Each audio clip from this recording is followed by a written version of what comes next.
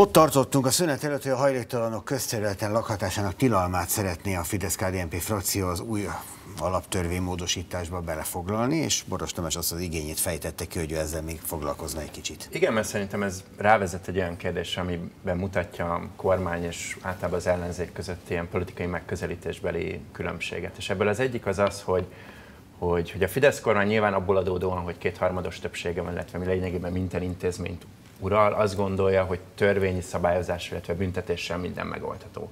És ugye beszéltünk a rezsikérdéséről, és szerintem ez ugyanaz a kérdés. Tehát az, az, gondolja egy kormány, hogy, hogy minden létező társadalmi struktúrát, vagy minden létező gazdasági folyamatot felül lehet írni azzal, hogy ezt betesszük az alaptörvénybe, vagy hozunk róla egy törvényt. És, és nagyon sok esetben éppen emiatt végül is nem jár sikerrel a kormány, gondoljunk egyébként a gazdaságpolitikára, mert hogy, a, hogy attól, hogy az országon belül kétharmada van, és attól, hogy, hogy bármit bele tud írni a törvénybe, bizonyos törvényi dolgokat nem fog tudni felülírni. Tehát attól, hogy beleírunk valamit az alaptörvénybe, hogy megtiltjuk a kukázást, vagy megtiltjuk a hajléktalanságot, attól ez még egy létező probléma.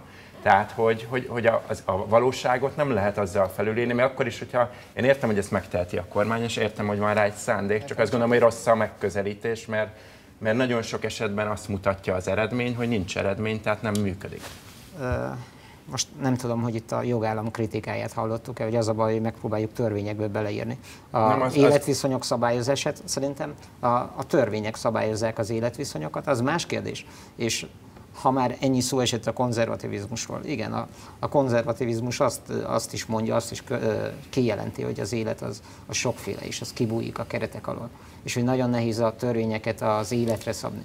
Ez valóban így van. De mégiscsak a jogállamiság az egy olyan fontos értékünk, amely azt követeli, hogy próbáljuk meg törvényes keretek között tartani és szabályozni az életmenetét. Én azt gondolom, hogy, hogy az, hogy, hogy egy kormány törvényeket hoz, ezzel önmagában az ég egyat a világon semmi probléma nincsen. És természetesen az, az, abban sem látok problémát, hogyha az élet felülírja, vagy az élet feszültségbe kerül a törvényekkel, akkor lehet módosítani a törvényeket, hiszen az életet nehéz lenne. De ez egy, ez egy olyan folyamatos alkalmazkodás, hogy az emberek is szocializálódnak a törvényi keretekhez. Azt gondolom, hogy a törvények nem, nem csak büntetnek, nem csak az a funkciójuk, hogy büntetnek, hanem tulajdonképpen morális előírásokként is szolgálnak, egyfajta életvezetési kereteket is nyújtanak, amihez az emberek hozzászocializálódnak.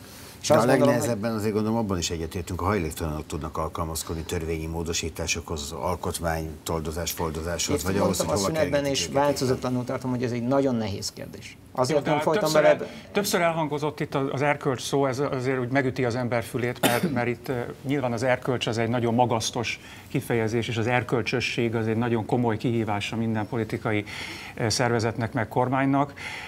Én szerényebb lennék a kormány helyében, hogyha itt ülne a kormány, mint olyan, hogy az erkölcsöt fölhozzam, akár a korrupcióról, akár minden egyéb dologról beszélünk, akár azzal, arról az alaptörvényről, amelyik bebetonozza tulajdonképpen a saját hatalmát sok évre. Tehát rengeteg olyan terület van, hogy én nem használnám, ha a kormány helyében lennék, vagy ha a kormányt védeném annyira az erkölcs kifejezés. betonozva az majd 2014-ben kiderül. Egy másik témát hadd válaszol meg a alaptörvényel kapcsolatban, szóval, hogy hogy ugye az alaptörvény meghozásakor ugye a kormánynak nyilván az egyik fő szempontja az volt, hogy ez valamilyen magasztos dolog legyen, amire az emberek büszkék és fölnéznek. Tehát erre számos kommunikációs és nem kommunikációs aktussal utalt a kormány, és az látszik, hogy egyre több olyan passzus van, ami, ami pont ez bontja le. Tehát, hogy itt érzek egy olyan típusú ellentétet, hogy elindult a kormány egyfajta magasztos céllal, és lényegében a végén már a, azt a kérdést is, hogy a Fidesz székház előtt a fáknak a nyírása hogyan nézzen ki, már az is az alaptörvényben.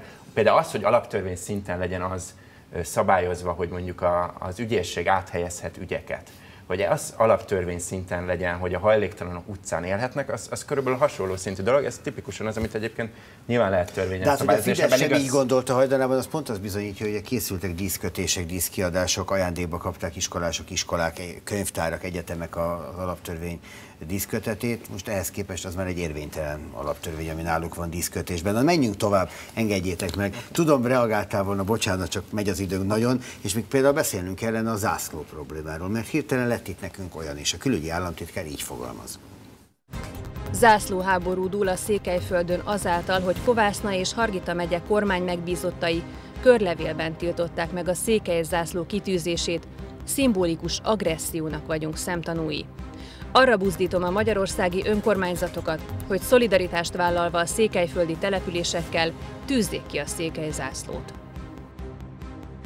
tapasztaljuk szerintem, amit annyiszor a Fidesz politikájában, külpolitikájában különösen, ugye neki megyünk, nem leszünk gyarmat, stb. Utána egy nappal, mert hogy egy nappal később Martonyi János is nyilatkozott, meg talán mások is, hogy mi tárgyalni szeretnénk a románokkal. Tehát hát először... idézzük, Martonyi János megvan az is, és akkor Kérem. utána tudunk erről is konkrétan beszélni. A magyar kormánynak 22 éve világos az álláspontja, ha egy közösség többsége valamilyen autonómia formát igényel, és ez demokratikus úton kifejezi, a többségnek figyelembe kell vennie ezt az igényt. Két érdekes kérdés. Az egyik, hogy amit elkezdtem mondani, hogy jól neki megyünk mindenkinek, kicsit kakaskodunk, a, a tacskó kölyök odaáll a Bernát hegyihez és elkezd ugatni, mert lehet, hogy ez kisebb rendűségi érzés vagy félelem a kormány részéről. De a másik az, ami nagyon fontos Marton János nyilatkozatában, hogyha egy kisebbségi közösség többsége, vagy egy közösség többsége valamit szeretne. A többség szerintem ott az RMDS még mindig. Volt-e e, valamiféle fajta előzetes tárgyalás egy ilyen nagyon vulgáris államtitkári nyilatkozat előtt, mert a diplomáciában a agressziót használni egy külföldi, tehát egy külső ország hivatalos szerveivel kapcsolatban. Ez egy kemény megnyilatkozás. Te Volt nem -e... tudod, hogy milyen idézeteink vannak, csak a témát, mert azt mindig elküldjük, de Borbély László is mondott valamit, RMDS. A székelységnek joga van a székely zászló kifüggesztésére. Magyarországnak azonban a külhoni magyarsággal kapcsolatos alkotmányos felelősségét úgy kell érvényesítenie, hogy minden ilyen ügyben kikéri az adott közösség legitim képviseletének véleményét, ebben az esetben az RMDS-ét. Tehát, hogy Martin János megkérdezte az RMDS-t, mielőtt mondtak a magyar kormány részéről bármit erre az zászlóira, erre itt a válasz. Igen. Te meg hozzáfűztél volna valamit ehhez is, de most akkor már tessék. Jó, megpróbálom rendszerezni a gondolataimat. Itt már eljátszottam a korábbi műsorban, hogy pontokba szedem a dolgokat. Egy. Szerintem ez, ez is egy összetett kérdés. Tehát volt ennek egy kiváltó oka. Ha mindenki ismeri a híreket, mi történt ugye Kovásznában. Tehát volt egy kiváltó ok. Kettő. Hogy ez a kérdés nyilván szerves része a román belpolitikai életnek. Annak a román helyzetnek, ami Hát jelenleg nem rózsás, tehát az Európai Bizottság elmarasztaló kritikája, a, az elfogadott költségvetés kérdése, a jövőre tervezendő régiók létrehozása, stb. stb. Tehát van egy, van egy román belpolitikai olvasat ennek a kérdésnek. Van egy diplomáciai olvasat ennek a kérdésnek, hogy mi a viszonyunk, és ez hogyan módosítja ez a kérdés a viszonyunkat, és van itt is egy belpolitikai olvasata ennek a történetnek, ami valóban szerves összefüggésben áll azzal a, azzal a szimbolikus igényel, hogy mit jelent magyarnak lenni, és mit jelent a határon túli nemzetegyesítés gondolata. Ezt is egy nagyon nehéz kérdésnek ítélem, de mielőtt eljöttem, megnéztem a Facebookot, és hogy, hogy ugye arról szólt a német Zsolt féle kommuniké, hogy arra biztatja az anyaországbeli önkormányzatokat, hogy ha egyet értenek, akkor tegyék ki ők is a székelyzászlót. Én azt láttam a Facebook ismerőseim között, hogy rengetegen háttérképet változtattak, és ők is kitették a székelyzászlót. És azt gondolom, hogy, hogy ha demokratikusak vagyunk, és ha azt gondoljuk, hogy a, a magyar polgártársaink egy részének fontos a összetartozás tudat felvállalása, akkor itt, akkor itt egy szép dologról is szó van. Egy olyan, egy olyan összetartozás tudat felvállalásáról, ami az egyének szintjén is megjelenik. És ez a, ez a szint elválik a nagy politika szintjétől, ami nyilvánvalóan a diplomácia nyelvén is zajlik, nyilvánvalóan román és magyar belpolitikai logika, taktika, fogások mentén is a zajlik. Múlt héten volt 25 éve a romániai nagykövetség előtti budapesti tüntetésnek a falurombolás miatt, az még a Ceausescu rendszer volt. Nem örült neki a magyar akkori vezetés, de tulajdonképpen a korkörülményhez képest egész jól viselte. Most kell nekünk újra egy karcsörtetés Romániával? Illetve megoldható-e ez a dolog úgy, hogy ne karcsörtetés legyen, és ki tudjon állni a magyar politika a határon túli magyarság mellett? De itt van a lényeges kérdés, mert hogy most kivételesen nem úgy vannak a törésvonalak, ahogy szoktak lenni így az asztalnak ezen a felén. Tehát én teljesen egyetértek abban, hogy hogy ami Romániában történt, és hogyha már itt diplomáciai vulgaritásról van szó, akkor itt azért mindkét fél elég alaposan ebbe benne van, tehát ezt egyik fél sem fog az incidiát nyerni azokkal a mondatokkal, amik elhangzottak. Tehát, hogyha már egy kisebbségnek az autonómiájáról van szó, akkor úgy gondolom, hogy, hogy az Európai Unióban, meg Európában nyilván egyre erősebbek ezek az autonómia törekvések, és ezzel szerintem semmilyen baj nincsen. Én is jelentős problémának tartom azt, hogy erre általában a román kormány, mindenkori román kormány válaszol.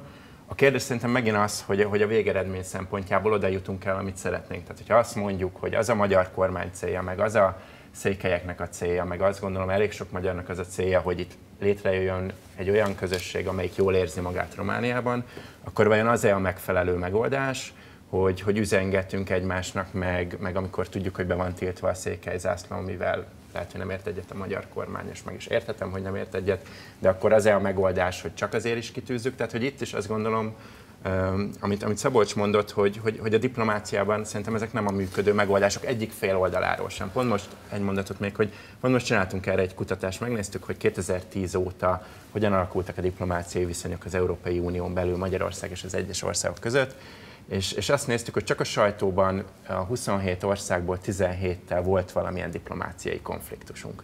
Ami persze nyilván kommunikálható úgy egyrészt, hogy megvédtük a magyar nemzeti érdeket, és végre vannak konfliktusok, de ugye az eredmények szempontjából nem látunk semmi eredményt, amitől jobb lenne az országnak, hogy ezek a konfliktusok megvannak. Tehát az látszik, hogy ilyen kicsit 19. századi módon, hogyha valamilyen sérelem ér minket, akkor, akkor előhúzzuk a párbajtört, és, és így reagál a magyar külpolitika, egy, egy és nem pedig valami beszélgetéssel. Mert biztos értesz ehhez a kérdéshez, hogy hogy vajon a nemzetközi konfliktusok vállalása az olyan egy ilyen magyar hepciáskodása, vagy pedig más államok is vállalnak egymással konfliktusokat, mert bizonyos érdekeket fontosnak tartanak. Én azt gondolom, hogy, hogy az, hogy vannak nemzetek közötti, államok közötti konfliktusok, ez a nemzetközi politikának a természetes velejárója. Én nem Igen, gond... csak én azt furcsálom, hogy a saját szövetségeseinkkel vannak a konfliktusok, és nem például azokkal az országokkal, ahol, ahol akár értékrendből, akár valamilyen másokból ezek, ezek érthetőbbek. A másrészt meg nem látom az eredményeket, tehát azt nem látom, bármennyire is figyelem a magyar külpolitikát, hogy értem, vállaljuk fel a konfliktusokat, és ettől melyek azok a pontok, akár külkereskedelemben, akár a magyarok, a külföldi magyarok, határon túli magyarok érdekeinek képviseletében, ami miatt ezek a konfliktusok megérték azt, hogy jelenleg Magyarország egy viszonylag elszigetett helyzetben van. Tehát nekem nem alapvetően abból a konfliktusokkal van a bajom, hanem az, hogy ez látszik, hogy nem működik. És még egy, még egy szempont, hogy egy csomó konfliktust a jelenlegi magyar kormány generál. Gondoljunk csak például az erdélyi, vagy a romániai választásokra. Az erdélyi magyarok pártjainak létrehozására. Nyíltan, tehát büszkén felemelt fejjel ezt a kormány javára írom, hogy itt nem folytat cinikus magatartást, nem nyíltan vállalja, hogy ő bizony meg, meg akarja osztani, mert nem találja az RMDS-t egy felelősségteljes magyar politikai erőnek. Tehát ebből a szempontból, ha úgy tetszik, egyenes a magyar kormány álláspontja. De látszik itt is az eredmény, egyetértek a Tamással. Az eredmény az, hogy ingott a rezgett a léc a magyar képviselet tekintetében a bukaresti parlamentben, tehát megint csak nem volt hatékony a magyar kormány politikája, feszültséget szít, szított Erdélyben, a romániai magyarok körében, mint hogy feszültséget szít teljesen fölöslegesen értelmetlen módon a stratégiai szövetségeseink között az Európai Unióban. Csak egy kérdést tennék fel, mert ilyen jó tanuló kisdiákként, hogy, hogy akkor mi ennek az alternatívája? Tehát, hogy hogyan lehetséges akkor a nemzetközi politikában boldogulni? Tehát, hogy hogyan tud egy nemzetállam érdekeket érvényesíteni, vagy kifejezni szimbolikus kérdésekben való álláspontját? Tehát a meghunyászkodás az alternatíva? Nézd meg, hogy hogyan csinálja, most ugye nem erről szól a műsor, tehát nagyon hosszasan lehetne belemenni.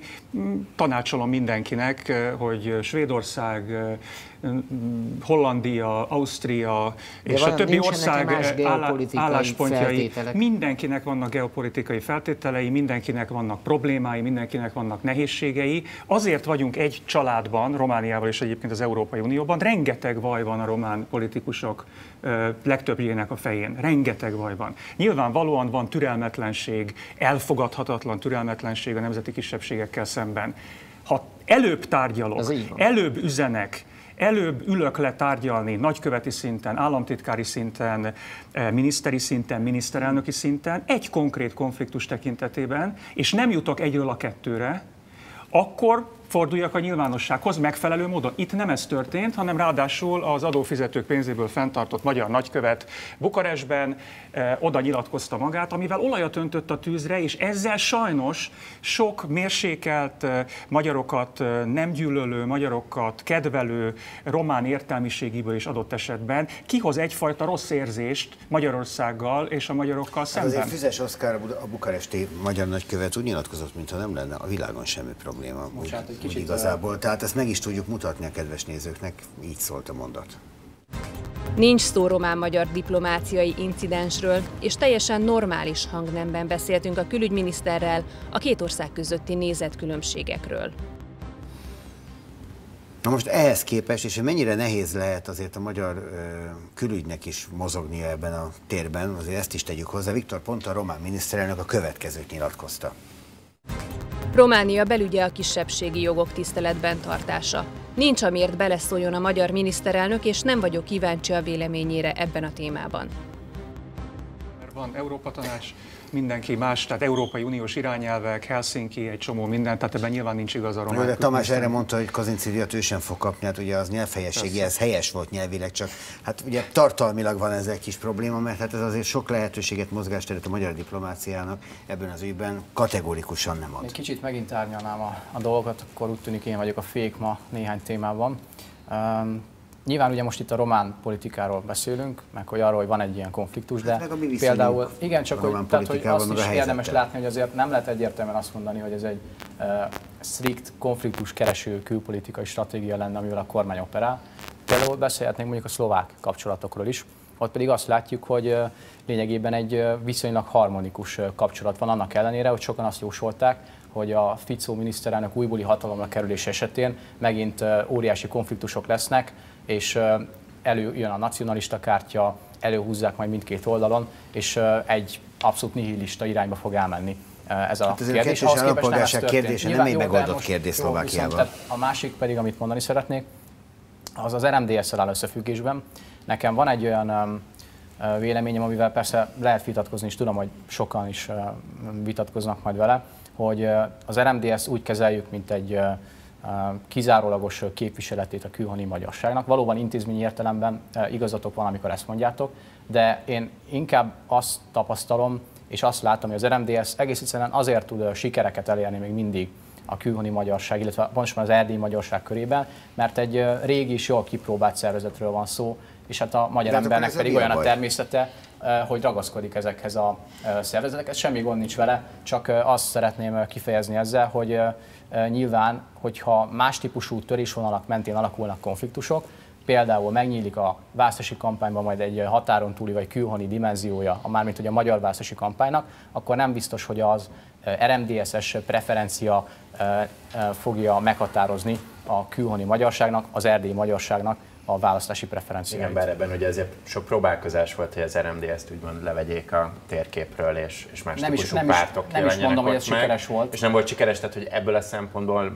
egyetértettek azzal, hogy nem biztos, hogy az RMDS a legmegfelelőbb, de hogy miután nincsen más, ezért, ezért nehéz más, más, más, más Miért kell a magyar, magyar belpolitikának és magyar pártoknak és magyar minisztereknek vagy miniszterelnöknek beleszólni abba, hogy kik képviseljék az erdélyi magyarság ügyét. Ezt nem értem én egyébként. A sokszínűséget határozzák meg ők.